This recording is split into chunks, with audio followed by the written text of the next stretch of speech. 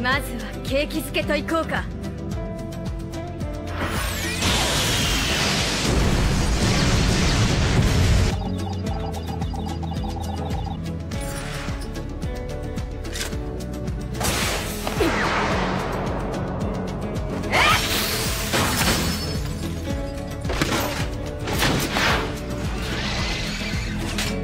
いい反応だね。